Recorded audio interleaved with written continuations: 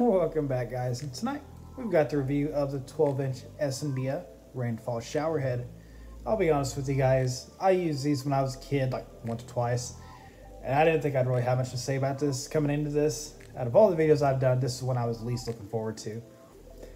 But with that said, after two weeks, we've definitely got some stuff to go over, and I am excited to share with you guys. So I guess with that said, let's get started. All right, so time for the review. Let's go back to two weeks ago and see what my first words were when I got out of the shower.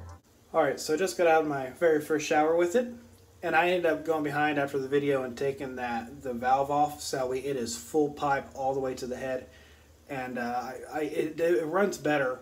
So my first impressions is is a lot of water. That's all I've got to say is a lot of water. We'll see how it holds up for the next two weeks though. All right, so that was my first impressions. Now let's look at the notes I made afterwards because I, I took down some very construct, constructive notes. First impressions were as follows. I noticed the joint for the shower head. It's a heavy shower head. Held fine. Could move it around, didn't fall. Even full of the water. It's a lot of water. Construction of the whole unit, I was pleased with it. It did not seem like a $20 shower head at all. It seemed very nicely built. Another thing, comparing it to the overhead, which you really, really want an overhead. You don't want it tilting toward you like that. Taking everything out full bore, except the screen for debris, which you need to leave that in. I feel like I was getting 75% of the performance in, in the tilted arrangement. 50% when I had the valve in there, which was cutting down flow already. So there's a little more loss there. So the note there that I made, you really should raise it up. Um, with that said, due to it being a 12 inch shower head, there is a lack of pressure because there's so much volume, but the volume makes up for that pressure. So you're not going to have issues getting water, getting shampoo out of your hair. Believe me, you're not. You're not going to have an issue. Um, if you are seeking some pressure, insisting on it, I would say in a tilted setup, eight inches.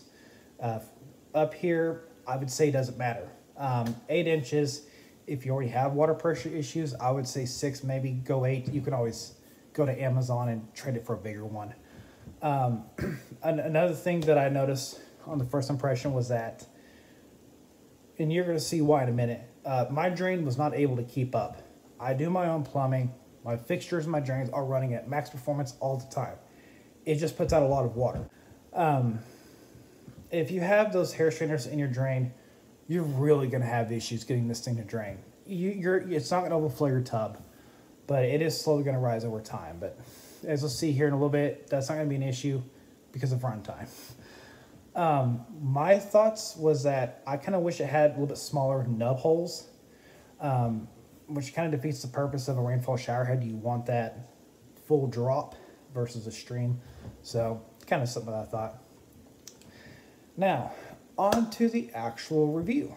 This is what I noticed over the whole two weeks of using this. The joint has paint on it. It's not anodized or anything. Where I had the pliers, smooth, smooth jaw pliers to, to tighten it up, the paint would kind of chip, and on the threads, the paint would kind of chip a little bit. There it is. It's it's just cosmetic. Not gonna be an issue, but something I noted.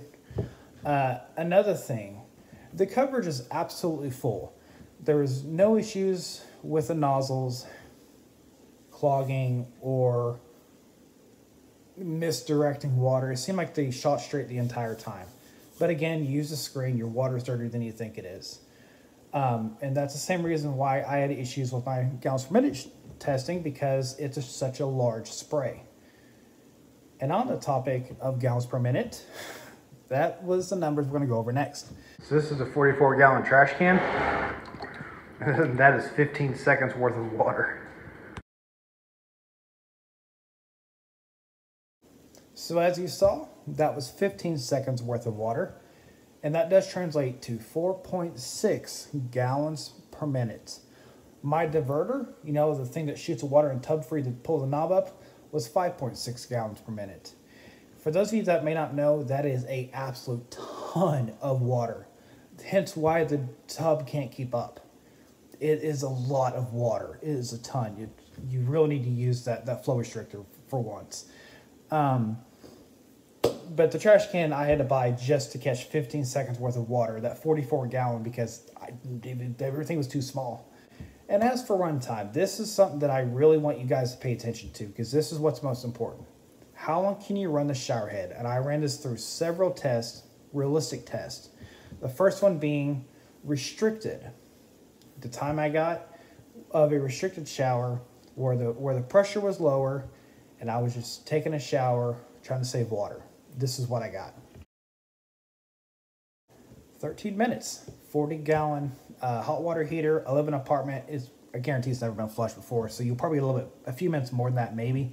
Um, the next test I did was just a normal full pressure, normal person shower, like day to day shower.